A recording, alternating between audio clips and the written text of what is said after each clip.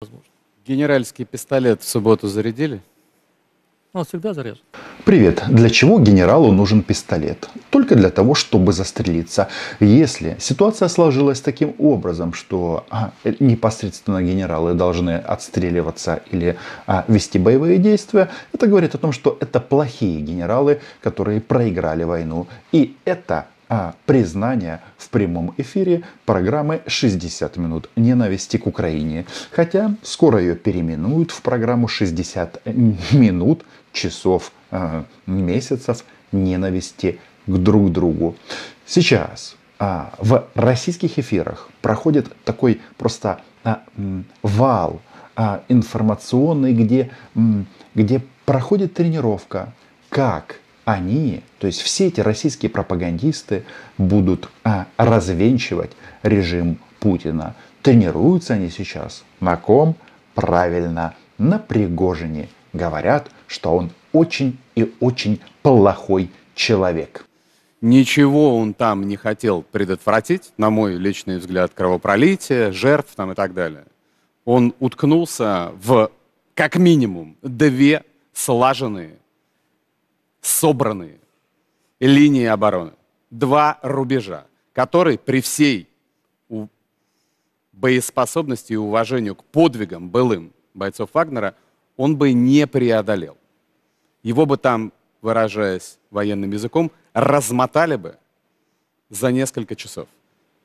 К сожалению, с жертвами, что-то подобное мы уже слышали. Женя и Оля Скобеевы обещали захват Украины за 2-3 дня, ну или как минимум Киева. Вот теперь обещают разгромить Вагнер. Но самое интересное здесь другое. Все эти товарищи рассказывают о том, что бы было бы, а, если бы Вагнер победил. Прямым текстом об этом говорят. Говорят о том, что Россия бы распалась на много-много кусочков. А мы задаемся вопросом, а почему они все время говорят о распаде России? Возможно, они что-то знают или что-то чувствуют. Я убежден, что именно этим эта война и закончится развалится, нравится, не нравится, подписывайтесь на мой YouTube канал. Называем здесь вещи своими именами. И вот сейчас, пока это исторически важное для всей планеты событие не произошло, а, товарищи а, рассказывают, что бы они сделали для Путина и а, российского режима. Чеченцы, ну точнее кадыровцы, говорят, что они уже были готовы убивать а, вагнеровцев. Подразделение Ахмат всецело, всецело а, оно было настроено на то, что мы будем бить любого врага, где бы он ни находился, в какой бы он ни был форме и что бы он из себя не представлял. С тем же подразделением ЧВК «Вагнер». Естественно, было некое недоумение, как наши боевые товарищи могли дойти вот до такого, чтобы они могли повернуть оружие внутрь нашего государства. В итоге, если бы реально эти события продолжились, я могу гарантированно сказать, что Россия бы перестала существовать как государство. Если должны умереть мы все, значит мы должны умереть все. Потому что у нас президент мудрейший человек. Оле Скобеевой тревожно, но она почему-то стесняется сказать вслух, что она готова провести 60 минут с солдатами ЧВК «Вагнер» ради Владимира Путина. А вчера президент России сделал судьбоносное заявление, которое должно повлиять на судьбу страны а, на поколение вперед. Так говорил э, этот, как его? А, Рот, э, да, Дмитрий Песков. Но э, получилось что-то невнятное и непонятное. Что хотел сказать Путин? Говорит о том, что э, предатели уже в России. Вооруженный мятеж в любом случае был бы подавлен. Организаторы мятежа, несмотря на утерю адекватности, не могли этого не понимать. Все они понимали, в том числе то, что пошли на преступные действия, на раскол и ослабление страны, которая сейчас противостоит колоссальной внешней угрозе. Вопрос, кто создал эту внешнюю угрозу, он риторический, потому что войну развязала фашистская Российская Федерация. Но что мы видим? Значит, мятежники, организаторы мятежа, это же они все говорят об Евгении Пригожине, да? Но результат какой? Уголовное дело по факту вооруженного мятежа прекратили, сообщает э, Центр общественных связей ФСБ России. И вот тут Самое интересное, это что получается? Вчера Путин что-то мямлил по поводу погибших пилотов, которые наносили ракетно-бомбовые удары по гражданским объектам, по российским городам, по российским дорогам, а их убили Вагнера. Молодцы Вагнера. Так это что? Все забывается? Просто э, переворачивается страничка? А знаете, как они еще здесь пищат и визжат? Да, российские пропагандисты с очень грустными лицами возмущаются тем, только не смейтесь, что Запад не сочувствует России. И Украина тоже не сочувствует России. Вы нам еще скажите, почему мы не скорбим? По информации Нью-Йорк Таймс, Вашингтон знал о планах Пригожина за две недели, молчал и желал Москве поражения. Вашингтон очень коварен. Об этом неоднократно нам говорила Оля Скобеева. Но раз а, вы воюете с Западом, раз вы воюете с США, то что должны в Вашингтоне вам желать, кроме того, чтобы вы наконец-то занялись своими проблемами? Оль, ты чего на, на жалость-то давишь, а? Кстати, не только Оля. 60 минут с ЧВК «Вагнер» придется провести и Жене. Субботний мятеж главы ЧВК «Вагнер» Пригожина на Западе многие встретили с воодушевлением, как будто бы признак слабости России. Американские лидеры решили промолчать запастись попкорном и с удовольствием понаблюдать за попыткой раскола России. Причем в онлайн-режиме. А почему бы и нет? Может быть, напомнить вам, а российские пропагандисты Сколько раз вы угрожали нанесению ракетно-бомбовых, ядерных ударов по мирным городам не только Украины, что вы делаете здесь и сейчас, но и, соответственно, и по Вашингтону, и по Лондону, и по Берлину, и по Парижу. В этой студии фашистских 60 минут ненависти, и чтобы как-то искупить свою вину, Оле и Жене Скобеевым действительно придется провести час как минимум а, с вагнерами ну или с советом командиров. Ну а как вы хотели? Да, вот эта вот тема, что Запад не скорбит и не сочувствует, этих ребят почему-то задела больше всего. НАТО собирает совбез, Байден обзванивает союзников. Макрон утверждает, что нужно как никогда решительно помочь Украине, чтобы добить Россию. На стороне мятежников с прицелом на уничтожение официальной Москвы выступает весь коллективный Запад. Российские пропагандисты сделали у себя в голове монтаж и у жителей Российской Федерации и Э, задаются вопросом, а может быть это все Запад организовал? ЧВК «Вагнер».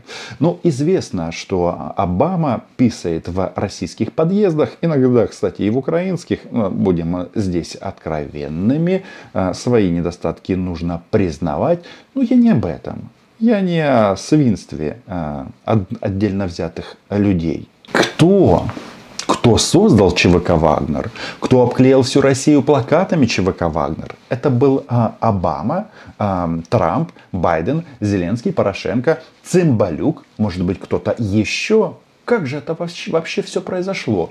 Почему? Почему ЧВК «Вагнер» по сообщению Минобороны Российской фашистской федерации передает свое оружие именно а, российскому Минобороны? А не кому-то другому. Вот Украине помогают. У нас на вооружении Брэдли, э, вся линейка э, самоходных артиллерийских установок стран НАТО, потому что нам помогает НАТО. И это не является ни для кого секретом, и даже для Оли Скобеевой. Почему ЧВК «Вагнер» отдают оружие военным? А? Может быть, потому что они его там получили? А почему фраза «Шойгу, Герасимов, трехэтажный мат, сзади трупы, а, где боеприпасы?» а Почему этот вопрос задает именно россиянам, а не американцам? А? Думаем, думаем и приходим к простому выводу, что ЧВК «Вагнер» а, создана российским руководством Владимиром Путиным. Внимание! Так кто здесь облажался? А то, что русские будут убивать русских, никого из недружественных партнеров России не беспокоило. Но почему же мы болели за обе команды, причем абсолютно искренне? Но опять, опять вот это вот проклятый Запад. Еще раз, а, уважаемые российские граждане, которые смотрят это видео. Значит, в Украине для ваших сыновей действует одно простое правило. Уйди или умри. Вот после того, как у ЧВК «Вагнер» случились проблемы на работе, его хотели расформировать и, возможно, расформируют, начали появляться сообщения о том, что ЧВК «Вагнер», их там а, прокуратура или что у них там свое отдельная комендатура, она простреливала колени российским солдатам, чтобы те платили денежки свои, которые им заплатил за убийство украинцев Путин. Но почему-то все эти полтора года российские военные и другие м, лица об этом молчали. О том, что ЧВК «Вагнер» ребята жесткие, могли и м, в прямом смысле этого слова могли поломать конечности, ну и, конечно, забрать деньги. Вы не знаете, почему а, по мнению Ходорковского, о, Ходорковского, Ходаковского, а, прошу прощения, а, значит, Пригожин подарил одному из российских генералов шеврон с м, надписью «Свиные войска России». Таким вот образом он а, продемонстрировал свое отношение к российской армии. И всех это устраивало. Да? И, кстати, а, Пригожин неоднократно хвастался, что у него на вооружении танки, артиллерия, РСЗО, РЭП, РЭР и авиация. Откуда же оно все взялось? А? Вот мы будем летать на F-16 и других моделях западной военной техники авиационной. Все будут знать, откуда она. А у Вагнера, может быть, а, кто-то, кроме Путина, имеет полномочия выдавать технику в частные военные руки. Нет, военную технику в частные руки. Или вы думаете, мы не помним, как а, бригада из Курска м, передала в частные военные руки, или воен, передала в частные руки а, комплекс БУК, а, с которого м, сбили малазийский Боинг. А? Ну что, украинцы, не скорбим по поводу того, что русские будут убивать русских. Как пишет Wall Street Journal, вооруженный мятеж Пригожина возродил зревшие десятилетиями опасения США по поводу того, кому в итоге может достаться контроль за российским ядерным арсеналом. Беспокойство по этому поводу уже выразил и госсекретарь США Энтони Блинкен. А чему вы удивляетесь? Удивляться не надо. Дело в том, что только мстительный маньяк, недоцарь Владимир Путин, обещает своим а, гражданам, ну в смысле россиянам, все дружно а, а, отправиться они в рай. Другие лидеры других стран хотят, чтобы их а, граждане жили, желательно жили хорошо, Чувствуете разницу? И вот этот вопрос, что же будет с ЧВК «Вагнер», он очень и очень интересный. Оля, например, да, она все-таки, по-моему, там э, в Беларуси территорию пометила, на нее там упала шишка, она чувствует, что э, ее Александр Григорьевич рано или поздно все-таки заведет, э, заведет в хранилище ядерных боеприпасов с закрытыми глазами. И там будет, знаете что, Александр Григорьевич возьмет ее за руку, завяжет ей глаза, скажет, Оля, открой рот и следуй за мной. Она снимает повязку, а там не ядерная бомба, там Вагнера. Вагнера переезжают в Беларусь. Всего те бойцы, которые э, пойдут с ним, наверняка тоже у нас появятся, мы их разоружим, естественно. Дальнейшая судьба будет решаться уже в белорусской юрисдикции. И тут мы, конечно же, должны поговорить о том, что же может произойти с вагнерами в Беларуси. Некоторые пишут, что они обязательно пойдут на Киев. Не пойдут они на Киев, потому что мы их здесь всех перестреляем. Это понятно всем. Вы думаете, из Бахмута они бежали просто так?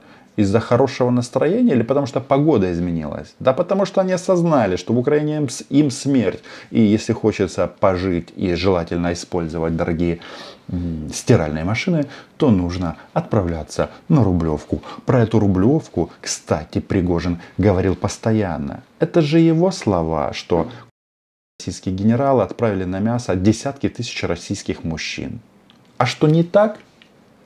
А цель войны какая? Вам не кажется странным, что этот а, Владимир Владимирович, не до царь, до сих пор толком и сказать-то не может? Зачем он напал? Вот мы понимаем, почему мы отстреливаем российских оккупантов, независимо от их юридического статуса. Да, Оля нашла, Оля Скобеева, которая мечтает провести 60 минут а, с вагнерами, нашла применение этой частной армии. А вообще-то, по российскому закону, это незаконное воинское формирование. Заметьте, когда Путин делал свое странное обращение, он о судьбе Вагнеров или ЧВК Вагнер так и не сказал. Странный дед. То есть э, это если мы говорим, что это дееспособное весьма соединение, нужно этот потенциал сохранить. Пусть часть идет в Минобороны, часть на территории Беларуси. Мы потом подумаем, куда их применить. У Беларуси тоже есть интересы в Африке, на минуточку, да? У всех стран есть интересы в Африке. Мир вообще глобальный. Но только получается, что интересов в Африке нет теперь у Путина и у России. Боже, яке кончене. Да и границу прикрывать с Украиной, с Литвой, с Польшей нам лишние штыки не помешают. От Беларуси недалеко до Киева. Там есть разные варианты на самом деле. В конце концов, и От Беларуси куда только недалеко, мягко скажем. Вот, и поэтому... Золотые слова. Из Беларуси недалеко и до Москвы. Оля все хочет отправить бойцов ЧВК «Вагнер», которые так эпично сбили 6 вертолетов и один Ил, отправить их на мясо. Но что-то мне подсказывает, что эти парни, они а, и на колбасу едва ли пойдут. Я понимаю, что сейчас они захотят или попробуют ЧВК «Вагнер» раз, разоружить, расформировать и так далее. Вполне возможно, что-то получится. Но вот эти вот идеи о том, что это все сделано, инспирировано США и Западом в целом, ну это же полный бред. И еще раз, кто вооружил этих парней? А? Российскому руководству в связи с вооруженным мятежом Пригожина выразили союзники.